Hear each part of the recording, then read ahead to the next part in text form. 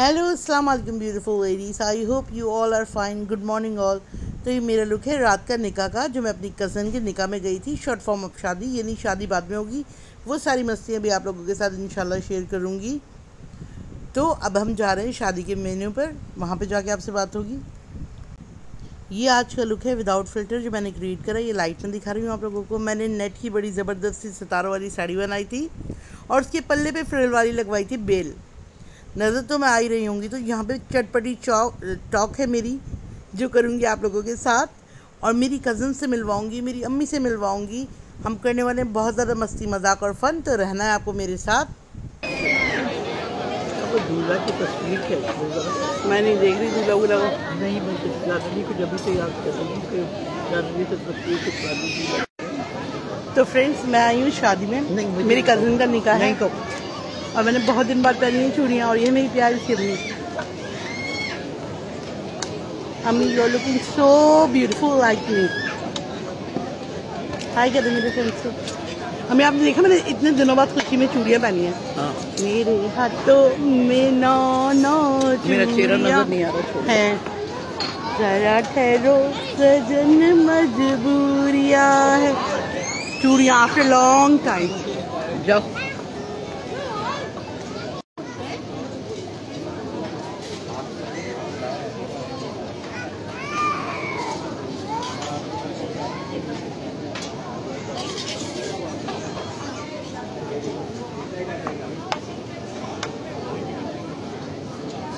रोशन आती है ना रेड क्यों कर दी मेरी लिपस्टिक.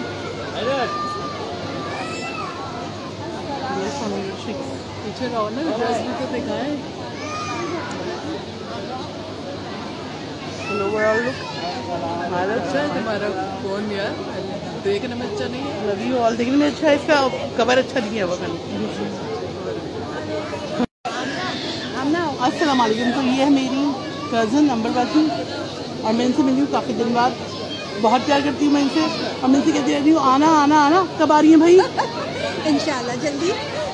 क्यों नहीं तो लोगों जब ये मेरे घर आएँगे तो फिर मैं आपको बताऊँगी कि मेरे घर आएँगे। लव यू और लव यू अस्सलाम एवरीवन आप लोग देख रहे होंगे कि किसी और का टिकटॉक है और इसमें ये कौन से चेहरे कौन से चेहरे नज़र आ रहे हैं?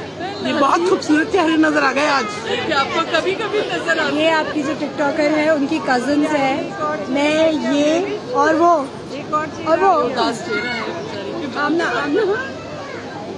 वाह रोज अच्छा मुझे मिठा बहुत पसंद है। Sweet dishes sweet like me but I am not only sweet I am sweet and sour love you all but मुझे मीठा बहुत पसंद है। बहुत रह लिया पाबंदियों में। अब मैं बस शादी करके आज़ाद होना चाहती हूँ। पर क्या गारंटी है कि आगे वहाँ रोक टोक नहीं होगी? वहाँ तो मेरे नेचर को देख के और मसले मसाइल पैदा हो जाएँगे। और तो और सास ससुर के सामने झुक के रहना पड़ेगा। नंद और देवर जेठ की बदतमीजियाँ बर्दाश्त करो। ऊपर से वहाँ तो मैं खुल के ना हंस सकूँगी और ना ही रो सकूँगी। यहाँ तो फिर भी सुना लेती हूँ, गुस्सा निकाल लेती हूँ। वहाँ तो हर वक्त हर चीज़ का डर ही लगा रहेगा। और पूरे घर का काम भी मुझे अकेले को करना पड़ेगा। नहीं भाई, घर वालों के साथ फिर भी गुजारा कर लूँगी। आखिर मेरी सुन तो लेते हैं कभी न कभी। मुझे नहीं करनी कोई शादी वादी शादी कैंसिल सुनो सिर्फ़ आखिरी बार आखिरी बार पूछने वाली हूँ। इसके बाद पक्का प्रॉमिस कभी नहीं पूछूँगी। तुमने मुझे क्यों छोड़ दिया? तुम्हारी इसी ओवर एक्टिंग की वजह से। मिल गया जवाब। और जैसा मेरा मन चाहेगा मैं वहाँ बैठूँगा। जैसा मैं करना चाहता हूँ मैं वैसा करूँगा। और मैं घर के निकलने से बिल्कुल नहीं डरता।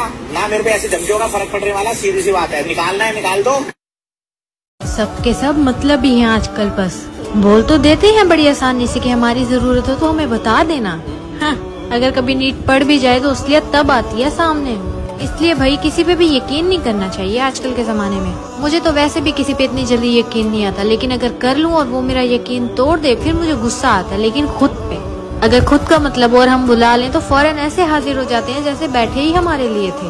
मैं कहती हूँ कि अगर अपनी बात पूरी नहीं कर सकते तो इतनी बढ़ाइयाँ और शोखियाँ मारने की ज़रूरत ही क्या है? ओ सॉरी शो ऑफ़ जो करवाना होता है झूठी बातें जो करनी होती हैं। भाई बस अपने ऊपर यकीन होना चाहिए कि अल्लाह ने आपके नसीब में जो लिखा है जितना लिखा है आपकी मेहनत से वो आपको मिल जाएगा। और झूठे लोगों से कोसों दूर रहना चाहिए।